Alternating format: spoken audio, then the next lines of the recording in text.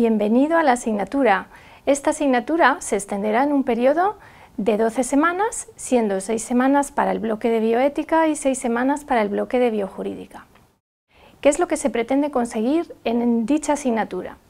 Pues eh, la finalidad primordial es desarrollar un proceso de reflexión sobre la relación bidireccional entre todos los planteamientos desarrollados en el transcurso de este máster y los valores, normas morales y leyes que protegen a los individuos.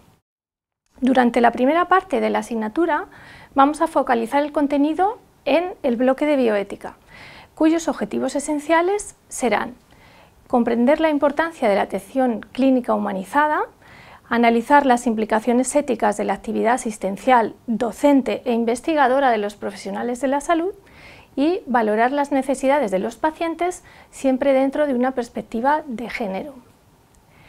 En la segunda parte se trabajará ya con el bloque de biojurídica, cuyos objetivos serán conocer los conceptos básicos del derecho sanitario y de la responsabilidad profesional, reconocer las implicaciones legislativas de género en la atención sociosanitaria y la educación en los valores de igualdad de género y de protección de la mujer en aquellos supuestos de violencia de género.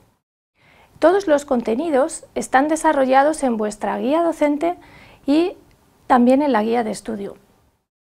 ¿Qué recursos vamos a utilizar para tu aprendizaje? Pues se darán videoclases para todo el módulo de bioética y también para la mayoría de las clases de biojurídica. Además, se abrirá un foro de debate para cada uno de los temas. Por último, se propondrá alguna actividad complementaria voluntaria.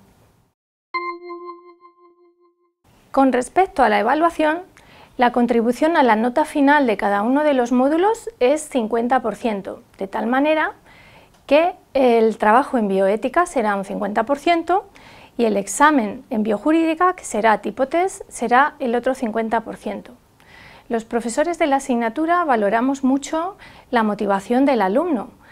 Eh, de este modo puedes aprovechar todas las actividades complementarias que os aportemos y que sean interesantes. Las tutorías serán flexibles adaptándolas en lo posible al horario que mejor te resulte. Cualquier duda puedes escribirme a dolores.marin.urjc.es. Pues bienvenido y espero que aprendas y disfrutes de todo el desarrollo de esta asignatura. Gracias.